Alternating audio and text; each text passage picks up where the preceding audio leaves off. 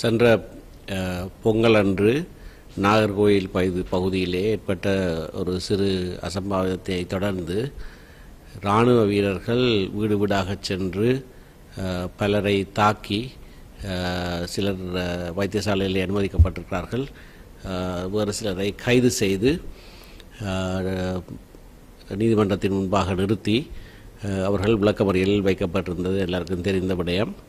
நேற்று முன்தினம் நாகர்கோவில் பகுதிக்கு சென்று அந்த மக்களோடு நான் உரையாடின போது இவர்கள் சார்பிலே ஆஜராகி அவர்களை பிணையிலாவது எடுத்து விடும்படியாக கோரிக்கை விடுத்திருந்தார்கள்.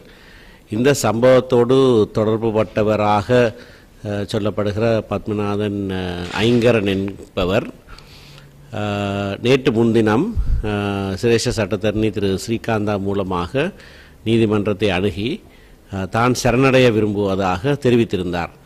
ஆனாலும் போலீசார் இவரை நாங்கள் தேடவில்லை என்று சொல்லிவிட்டார்கள். அதனாலே அவர் சரணடையவில்லை.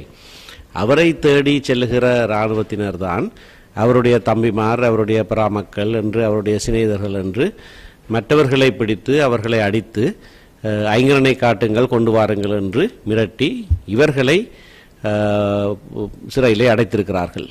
ஆகையினாலே இன்றைய தினம் இந்த வழக்கு நீதிமன்றத்தில் வந்தபோது இந்த எட்டு பேர் சார்பாக நான் திரு சாயந்தன் திரு குஹதாஸ் திரு ரஞ்சித்குமார் சகிதம் ஆஜராகியிருந்தேன்.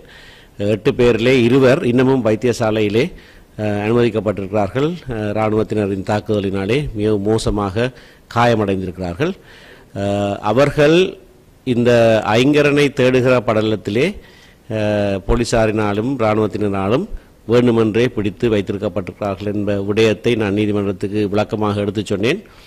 இப்படியாக ஒரு சட்டவிரோதமான ஒரு நடவடிக்கையை நீதிமன்றத்தையும் அதிலே ஒரு கருவியாக அவர்கள் உபயோகிப்பதை நீதிமன்றம் அனுமதிக்கக்கூடாது முதற்கட்டத்திலே குறைந்த அளவு அவர்களை பிணையிலாவது விடுவிக்க வேண்டும் என்று கேட்டபோது நீதிமன்றம் அதற்கு செவிமடுத்து அவர்களை பிணையில் செல்ல அனுமதித்திருக்கிறது. இராணுவத்தினருக்கும் காயம் ஏற்பட்டிருக்கிறதாகவும் வைத்தியசாலையில் இருப்பதாகவும் போலீஸ் அதிகாரி நீதிமன்றத்துக்கு சொன்னார். அது அப்பட்டமான பொய். அப்படியாக வைத்தியசாலையில் இருந்தால் எந்த வைத்தியசாலையிலே எந்த வார்டில் இருக்கிறார்கள் என்று சொல்லும்படியாக நான் கேட்டபோது அவர்கள் அதுக்கு பதில் சொல்ல முடியவில்லை. நீதிமன்றத்துக்கு நேரடியாகவே பொய் சொல்லுகிறார்கள். இராணுவத்துக்கு பயந்து போலீசார் இந்த நடவடிக்கைகளை செய்கிறார்கள். என்பதை நான் நீதிமன்றத்துக்கு சுட்டிக்காட்டியிருந்தேன். ஆனால் இந்த எட்டு பேரையும் பிணையிலே செல்வதற்கு நீதிபதி அனுமதி அளித்து அந்த ஐங்கரன் சம்பந்தமாக அவர் உண்மையாக தேடப்படுகிறாரா இல்லையா என்பதை நீதிமன்றத்துக்கு தெளிவாக தெரிவிக்குமாறு போலீஸாரை போலீசாரை பணித்திருக்கிறார். வழக்கு மே பத்தொன்பதாம் தேதிக்கு ஒத்தி போடப்பட்டிருக்கிறது